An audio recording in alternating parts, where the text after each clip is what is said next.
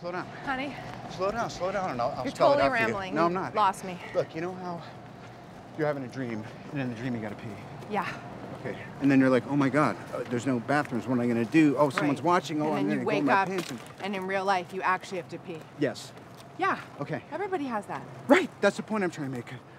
Apropos of that, last night I dreamt we had a kid. It was so real. We named him after your eccentric uncle. Uh, what was his name? Right. Morgan. Morgan. So you woke up and thought Naturally. that we were. Expecting. Yeah. Yes? No. Please? Maybe? We don't even have a wedding date yet.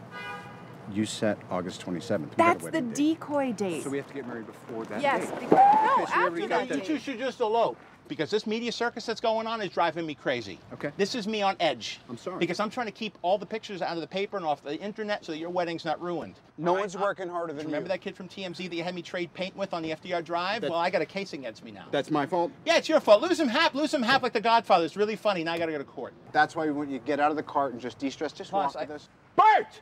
I see you, Bert! Hold on. Bert, you son of a bitch. Come here, Bert! Come here! Man, we gotta get him a girlfriend. You know anyone? Anyone come to mind who would maybe what?